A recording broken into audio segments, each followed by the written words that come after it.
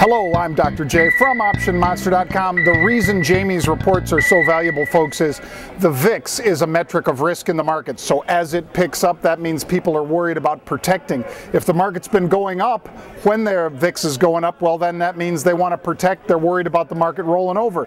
If the market's been going down very hard, well, obviously, then they're worried that maybe the market makes a U-turn and goes to the upside. So you got to watch the VIX.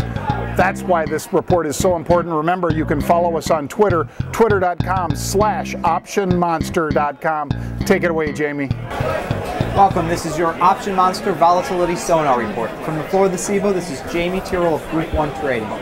Well, we're seeing another uptick in the market, another downtick in the VIX as volatility creeps lower and lower.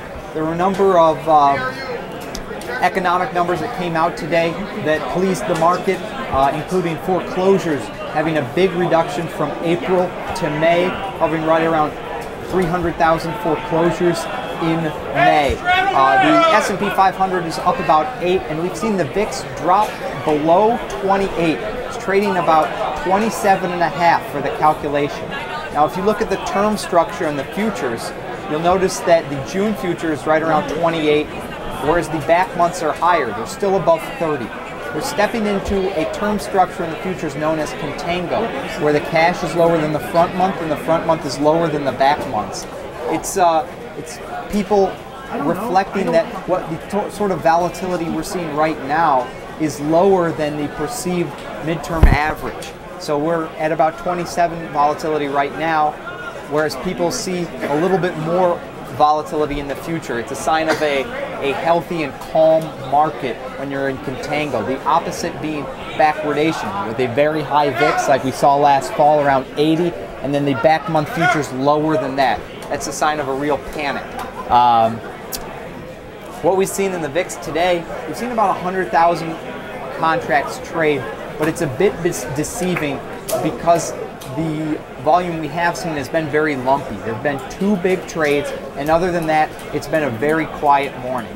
Uh, the first big trade involved extreme upside calls in June, all one penny and two penny calls uh, between 42 and a half and 55. People were swapping some risk in the event of an extreme upside move.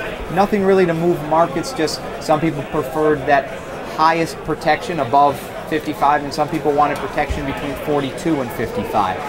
The big order that would move a market was the July 45-55 call spread. Traded 20,000 times, traded for 42 and a half cents. Customer bought it. They had a firm lined up to sell all 20,000 for 42 and a half cents.